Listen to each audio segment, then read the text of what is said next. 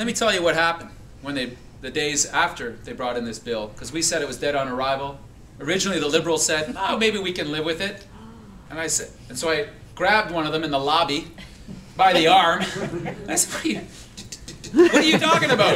2040, man. He said, well, you know, I don't know. We're liberal. It's tough, you know. And I said, no, no, no, no. So I phoned some environmental friends and I said, talk to the liberals, get their heads screwed on straight. And so then a day later, being liberals, they changed their mind and said, sorry, we can't support it. So the bill was dead, dead on arrival. And everyone said, oh, well, this parliament's done. And I've been to the UN meetings. I've been to these climate change conferences and I've seen the evidence. And the one thing I know, the one thing I know, is we don't have the luxury of time. Time's not on our side on this issue. Of all the things we have going for us, our smarts, our dedication, our ability to adapt, the one thing we don't have going for us is time. And so Jack came to me in the, in the house one day and he said, I'm going to I'm gonna ask Harper a question. And I said, oh no, what are you going to ask him? Jack's a pretty uh, aggressive fellow sometimes. and he said, I'm going to ask him to give us the bill. Give us the bill in such a way that we can rewrite the whole thing. And I said, he's not going to go for it, Jack. This is Harper. He doesn't like that. He's arrogant. He's controlling. He's all these things. And he said, we got to try something. We got to try something. And we'll do it with the other parties, and we'll get everybody to agree. And I remember sitting behind him as he stood up, and I was all nervous, and I was grabbing my desk, and he said, Prime Minister's bill is dead on arrival. It's a no-go. Will he work with us and the other parties in this place to come together put our best ideas on the table, and rewrite it. And all the conservatives sitting beside me, where they sit in the House of Commons, started slamming their desks and carrying on like a bunch of bohemians, going, Jack, sit down. Jack, you're no good. You don't know nothing, Jack. And then Harper got up and said, okay. and so then I turned to the conservatives and said, oh, you don't know nothing. Oh, you, didn't know this. Way to go, Jack. You did it. And we had a, we had a good moment and they were quiet for a minute. It was that's a rare moment for me in the house. And so then we designed this committee. All the parties sat on the committee. First week, we started hearing witnesses. We heard more and more witnesses from all sides, and they all told us the same thing. They said, "Get on with it." Industry said, "Get on with it." Average Canadians, who I think are far, far ahead of the politicians on this issue, said, "Get on with it." And then we got to the time to rewrite the bill. So in the true spirit of getting on with it, the conservatives canceled the first set of meetings. and the media all said, told you so, it can't be done. Politicians just don't get along. And I said, no, we're not done yet. And so then we got to our second meeting, and the, the conservatives were ready, and we were ready, and, and so then the liberals came in, and, and they canceled those set of meetings. And the media said, it can't be done. And Elizabeth May got up and said, I told you so, it can't be done. And so then we had an emergency meeting of the executive of this committee, and I sat around the table, and we came into the room, and I dropped down on the table 20 hours of meetings in three days, because we had a deadline. And I said, I want 20 hours of meetings in three days. We're going to rewrite this thing. Bring your ideas, show up ready to work, or forget it. And lo and behold, they all said yes. And so we started Monday night, just this last week. Wow. Now, understand how this thing works. It's a beast of a bill. And I'm going to go through some of the things that happened. It's a bill that affects another bill and affects two other bills. So every time we made a change to the one bill, we affected three other bills almost all the time. And you want to hear about complicated lawmaking? This was the textbook on it. Because when the chair starts reading out the subclause dash 301 3b slash 204 with reference to number 106, not 107, and you're flipping through the bill and the other three bills, it's complicated. You start with these good intentions and then it just goes wow. And we went nuts. And Jerry, who works with me in Ottawa, and a few of our other core staff around the table went late.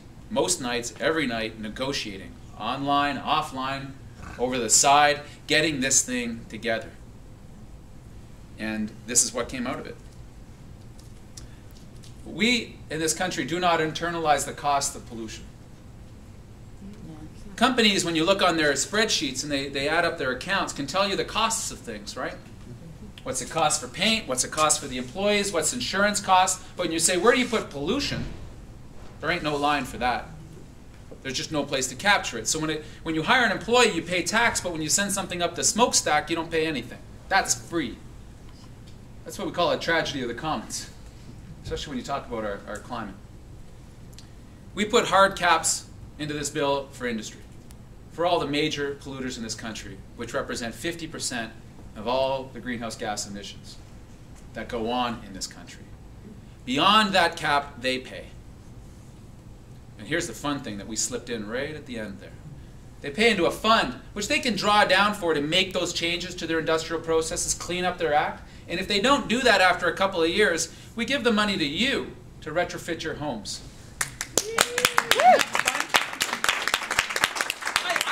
actually draw down the money and change their business practices. For those that don't, though, I just can't wait to see you folks retrofit your homes with money from Exxon. Oh. Yeah. That, that'll feel extra good. Slap in the new windows, get a new door. You can call it the Exxon door. You can call it the TransAlta window. That'll be fun. We, uh, we brought in uh, an amendment that will give Canada a mandatory law to have the most efficient automobiles set at the benchmark of the best in the world, starting in 2011. So that the cars made in this country will finally start to lead the world, not fall behind the world in terms of efficiency. And everyone uh, screamed and yelled. We actually had a conservative member on, on the committee that claimed that if we did anything environmental about the auto industry, there would be an increase in suicide and spousal abuse. I'm not kidding. in his communities in Windsor. Personal experience, the, uh, here's another fun thing we did. We put in, and the Tories moved this, the Conservatives moved this. We drafted it, they rewrote it. We said, knock yourselves out, put it in. An idea of hot zones, special zones in the country that we know are being affected by climate change the government has to focus its energy, its attention, and its money into those places first. We're particularly thinking of the far north, which is going through massive changes right now, and places that are being infested by the pine beetle, which go across right now the forests of northern British Columbia, the interior, and now across the boreal, as you folks in Alberta are coming to meet the pine beetle. We uh, brought in a, a principle that Linda will know well called the substitution principle that says when Canada is analyzing the air pollutants that go up into the air, it seeks to find a substitution for that pollution first. So, a company is doing its little business, and up goes the smokestack, and up there goes all these pollutants. The government has never had a policy that says, is there any way to replace those bad chemicals in your process? So you just don't make them in the first place, and then they don't go up the stack in the second place, and we don't have to hmm. deal with them in the third place. Can you substitute? We've never had that. It's the highest order of pollution prevention you can do. Because it says just don't make the pollution in the first place. Mm-hmm. and I've got a bill in the parliament right now that's going into its last stages called the phthalates bill. There's, there's this chemical they put into plastics to make it soft. We're calling it the rubber ducky bill. Because the problem with this stuff, these phthalates, it's a group of chemicals, they're noxious stuff. They're called endocrine disruptors. They harm particularly small children, boys, pregnant women and they make plastic soft. Not this one. and they are released when you, uh, when you mouth them. And there are substitutions available. But we don't have any substitution law in this country that says an industry must first check substitutes before it puts it in. We go the reverse way. And that's just stupid. We put in uh, short, medium, and long-term targets for our greenhouse gas pollution on a national scale that would put us back in line with the international community. Meet Kyoto obligations, move on beyond to 2020, and then move on to 2050 on a reasonable timeline. Lastly, we put in national air quality standards, mandatory. We don't have them in this country. The United States does. We never have. We don't have a standard that goes across the country that says this is how the air must be. This is how good the air must be to breathe. We've just never had it. Canadians are waking up to a lot of this and realizing that the trust and confidence we had in our governments to protect our health and our environment was often misplaced. That we just don't do things like this, and now we have.